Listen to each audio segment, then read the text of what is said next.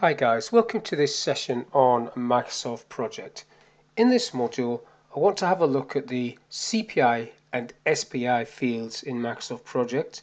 So as you can see on the screen, I've got a small project with the CPI and SPI columns installed. So basically, cost performance indicator and scheduling performance index index it says there but indicator is the same word. Both of them are set to zero. Now for this to work you've got to do two things. One you need to save a baseline. So I've saved a baseline. Set baseline saved a baseline just. And you also need to set a status date.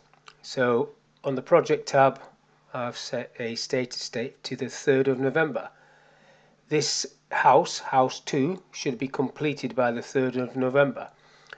So I've got a status date on the 3rd of November. Now nothing's filled in yet because I've not updated any tasks.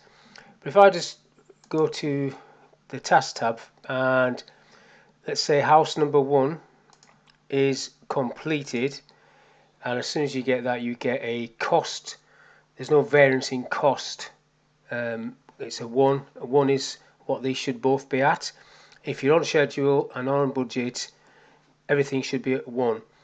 If this SPI goes above 1, you're ahead. If it's below 1, you're behind. So let's have a look at this one. So let's do 50% at that one.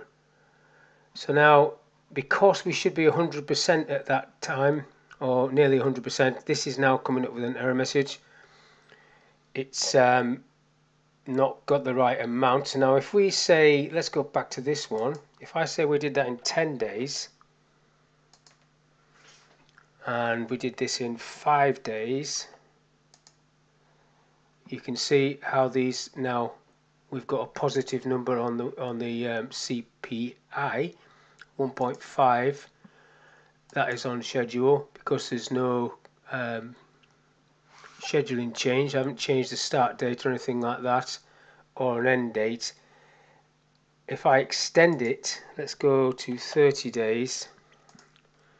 Obviously now things are starting to happen because the end date's changed and it should have been completed on the 3rd of November. Now it's not going to be completed even if I go 100% complete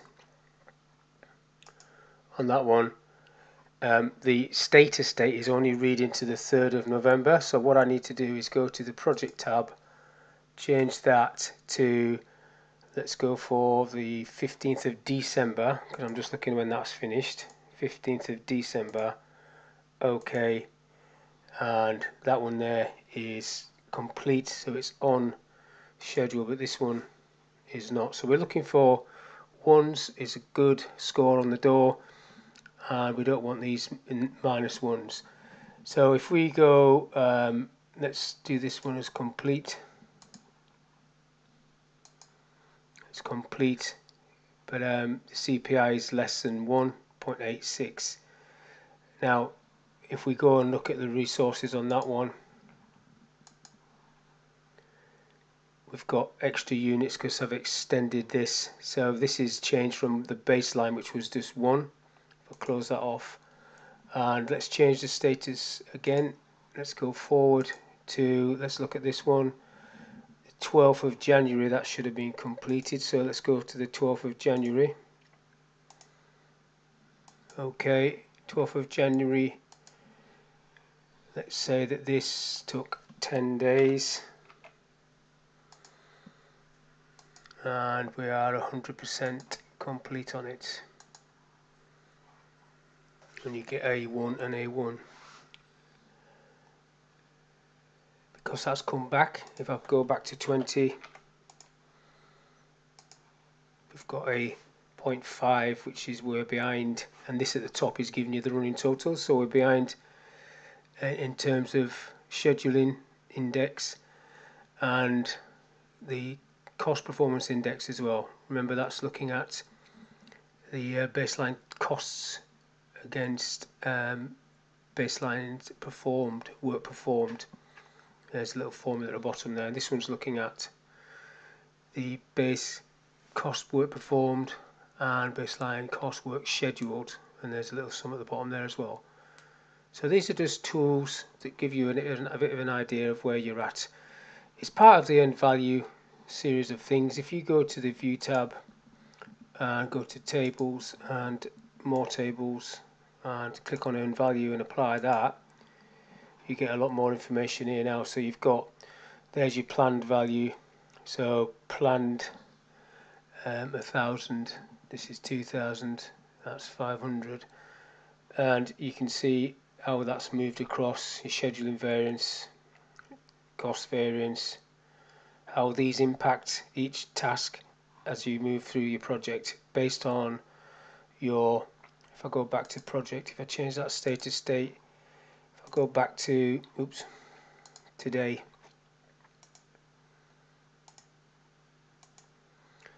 You see everything disappears. Most things disappear now because I've just changed the status date. So you can see how important that is. And if I go forward to the end I think the end date's in June sometime. I'm not quite sure but if let's go to June 6th of June it was anyhow. Let's go for that. And then you can see this is sitting there minus a thousand because that's what this task is planned to be and at the moment hasn't been spent and there's no cost uh, cost variance uh, you can add those SPI um, columns and CPI columns at the end of this if you want. If you go and have a look at another table, if I go and have a look at the earned value cost indicators apply, you get them in there. CPI comes in there. Um, you see a percentage, 19% overall, 17% on that task. Cost variance is 333 quid. There you go. And then the other one, if I go back into it, more tables, scheduling, apply. So on that task there, 500 quid, 50% minus 0.5 SPI.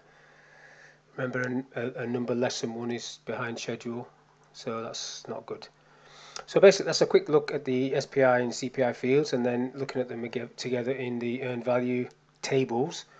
And what you need to do is to get your head around how it all works is create a simple project like this and then just work through it but the key like I've said many times already is this needs to be set to the relevant time period so if I come for the 3rd of January you know things start changing and disappearing as they're not relevant so that's basically a quick look at the SPI and CPI fields. So hopefully that was of use to you and thank you for your time. I'll see you in the next one